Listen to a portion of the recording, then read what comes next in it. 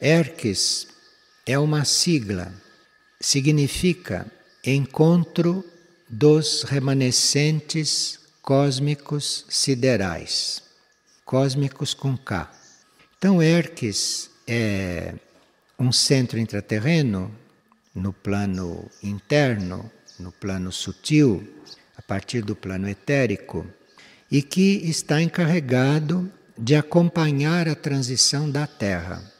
Como ele é um núcleo de remanescentes cósmicos, são consciências cósmicas deste sistema solar e de mais além, é um centro que conhece profundamente o destino da Terra, porque não é terrestre, não é terreno. Ele é formado por consciências cósmicas. Os habitantes de Erques são consciências cósmicas. Aqueles que se voltam para Erques, aqueles que buscam uma certa realização espiritual, aqueles que procuram um caminho espiritual bem universal, são acolhidos nesta consciência de Erques e passam a fazer parte desta consciência.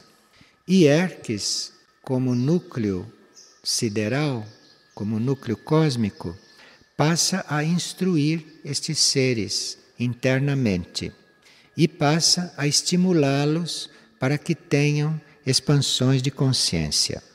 Do ponto de vista físico, Erques está presente só como irradiação. Em certos momentos, etericamente, ele se faz presente como luzes lá na região onde ele está focalizado, que é a região de Córdoba, lá na Argentina.